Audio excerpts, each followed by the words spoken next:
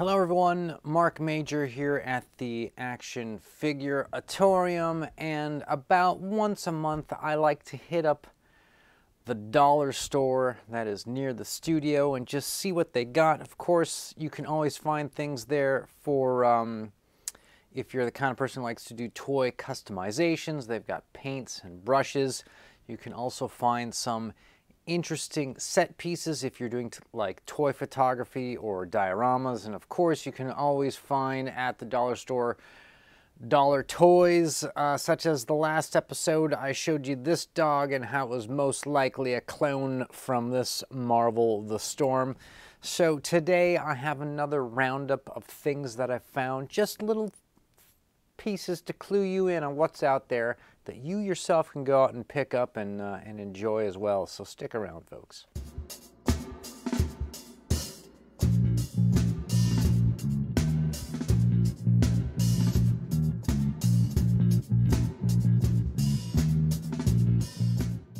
Okay, so I've moved over to the bench here so we can uh, do a little bit of show and tell. First thing I'm going to go through with you guys, that's right, is um, I'm going to talk about I'm going to talk about the uh, craft type material I picked up this time. It happened to be a bunch of different glues. Of course, you can always find your Mod Podge there. This is kind of like a white Elmer's wood glue that you would, you know, probably use as a kid in school. This is great for doing flocking and um, also with action figures, sometimes you've got to glue th things in hands to get them to stay. If you're doing photography, if you're doing, uh, you know, that kind of stuff, posing, you might have to glue a hat on every once in a while. And this sort of tacky, you know, white glue is great for that. Um, of course, I picked up some uh, some cement glue there for buck 25, you know, that kind of thing. That's always good if you're doing kind of plastic models, that sort of thing. And then also, for those of you in the know, probably know that when it comes to super glues, right, that once you open the pack, um, you don't get many days afterwards to use it. You can use it the next day or the day after that, but eventually it goes bad pretty fast. And so what you do is you get these little guys in the individual packs, you get everything together you want to glue, and you go through one of these, and boom, you're done. I picked up two of them. Picked up two, and also, funny enough, they give you um, they give you enough little uh, screw on, uh, you know, spouts for each one. They could have just given you one per pack, but uh, they assume you're going to use all, uh, all four packs at once. So that is for the glues that I found. Previous episode, I found some paints, some acrylic paints. Didn't need to re-up on those. Okay, so now we're going to go to um, uh, some like set pieces. So these things, you're probably going to laugh at me. You're going to say, oh, I can't believe you spent money on that, but check it out. Um, buck 25 bag of little sticks that have all been sawed so they look like they look like logs and they can be used like logs. Now some of you are saying um, that I uh, paid for something that you could just go out and get and make yourself. That's true, but time is money. Is your time uh, per hour worth a dollar twenty-five? So you could not go out and collect these with your own own time for uh, for cheaper than what you can get them. And also along those lines, I picked up, although I transferred it to a new container, I picked up the bag of little rocks you can get there for a buck 25. Again, people have mocked me for that, but um, it's worth it just to not to go have to pick them up yourself. This is kind of interesting. This is a uh, bag of five little faux leather pumpkins right? Faux leather pumpkin. I thought that these might be kind of something that you could sort of scatter on a hillside or, you know, maybe using like a Halloween, autumn, fall shots. Good, good thing to have for buck 25. Along the same lines, and they had a bunch of different variety, but if you're going to do anything with like characters on the beach, or if you want to do some kind of underwater shot or scene, you're going to need some sort of uh, aquatic things to throw in. And this is like an assorted bag of different seashells. And there's uh, all different types and sizes, and they're pretty cool. There was ones that was just sort of the, uh, the generic half shell, the sort of, you know, the clam shell. Um, but I went for the multi-pack, and uh, I would say that gets a recommend.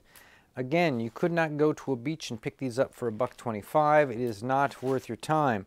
So one last thing before we move to the final part of the roundup, and that is uh, that is this. This is like a little sort of um, like a pop-out menu board. It's chalkboard. Actually comes with a see the chalk in there. Now, previous episode, they had one at the dollar store that was an A-frame that stands up like this, something you would see outside of a restaurant. And I said, get yourself like a 1-6 Barbie type with a chef's outfit, or maybe they're just like a bistro. And then you can write funny memes on your, uh, you know, on your A-frame. And this is just a variety of that. This is just gives you a different one of these to put out. It's a wide rather than an up and down, something different. It's about the same kind of quality, and material, etc. But I'm always looking for different options to have floating around. And for buck 25, not bad. Okay, we're going to keep going, folks. We're at the final stretch of the show. Uh, these are the toys. Now, this one, to me, isn't exactly, I would say, a toy, but it is plastic. It's a little tabletop recycling garbage can, right? It's got the recycling thing on it, although it's, in my state, they're, uh, well, I don't know. They're not always green. Sometimes they're blue. But um, red's a little bit unusual. Red, would, to me, would indicate hazardous waste. This is like a little desktop garbage can, but it looks like a real garbage can. And, you know, it's for reference. Let's get our Barbie out. And so, yeah, there she is standing by the trash. And um, so this might be a cool piece to have. You know, you can just always stick a character in there and another character helping them out. Makes for easy shots. Now, here's a couple pieces that we're going to close with. I don't know if you guys um, can really see this. They're still in the pack. So this, this thing is a uh, umbrella for like a table. And um, I didn't actually see the little table set there but maybe it'll show up or maybe I'll find one. But this is good enough because you could stick it in the sand. And then this, uh, this is a, um, uh, a little beach chair, right? And, um, and a little table that goes next to it. I don't think the table has a hole for the umbrella. That would be nice. Anyways, I was thinking that you could put a Barbie size figure in the beach chair next to the table with some drinks on it. And then of course stick this, which complements it nicely in sort of the sand. And uh, if you need a longer stem, you could easily make one or you can add on to this. is just not a uh, not that difficult a piece of plastic to recreate. Anyways, this comes to me as kind of a set piece now that you could sort of make work.